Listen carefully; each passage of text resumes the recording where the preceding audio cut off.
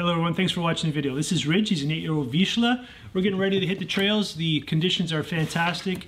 Um, snow's packed, trails are great, so we're gonna go out for a bike ride and I thought I would uh, tell you a little bit about why Ridge is the perfect trail dog in my opinion. Vizslas are called the Velcro dog and they're called that because they, they don't want to get too far away from their owners and he sticks around really nice and close, doesn't get in your way on the trails, pretty much follows the trails, doesn't run through the bush randomly. He will make a point of actually staying on the trails. And um, I've been biking with him for almost uh, eight years. We have another Vizsla Scout. She's not in this video, but um, she's nine years old. And uh, never have I once uh, had them run away, never had to go looking for them. The breed just wants to stay by you, and they make for a great companion on the trails. So come along with me and Ridge on a nice snowy day here, and we'll show you what it's like to go mountain biking with a Vizsla. This video is sponsored by Princess Auto, a unique world of equipment, tools, and more.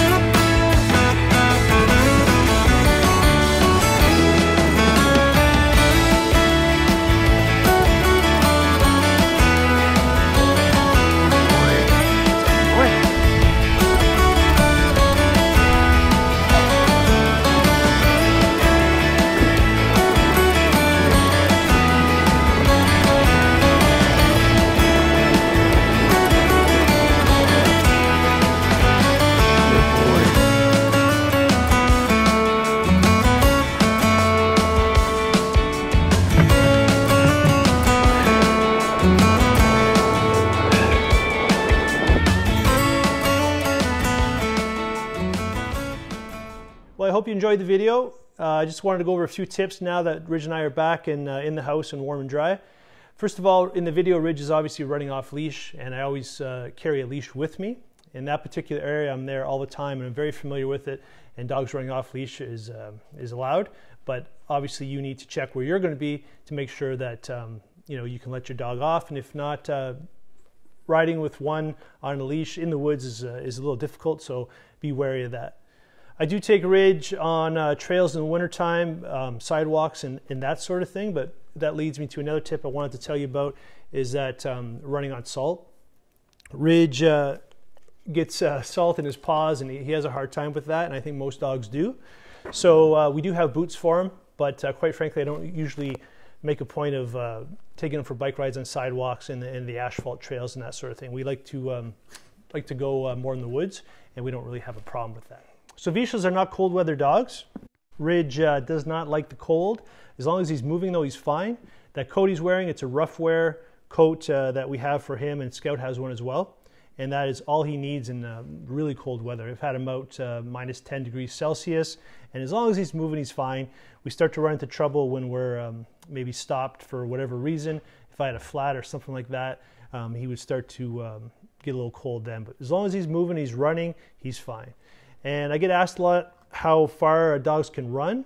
Um, it's nothing to do a 10K with Ridge, and uh, he's eight years old. Quite frankly, when he was younger, um, because I wanted to know what his limit was, I've, I've uh, ridden with him for almost uh, 30K, and he really had uh, no, no uh, signs of being tired from that. So he's got a lot of energy. As he gets older, we don't do that much anymore, but 10, 20 kilometers for him uh, is really nothing.